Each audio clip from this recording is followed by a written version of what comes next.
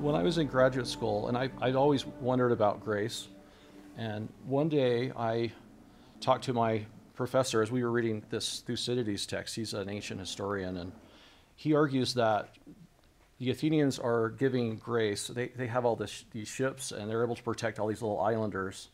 And these little ships are going to give charis or grace in return. Hmm.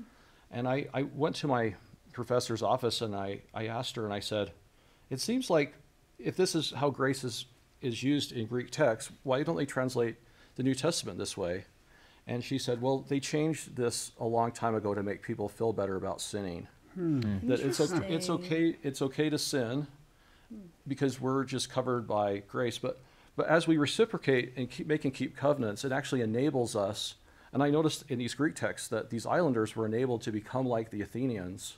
Mm-hmm. And so a lot of prophets have taught it's a, it's ultimately an enabling power or relationship Okay. as we reciprocate. And, and, and and that way, we truly become sons and daughters of a loving Heavenly Father and His Son, Jesus Christ.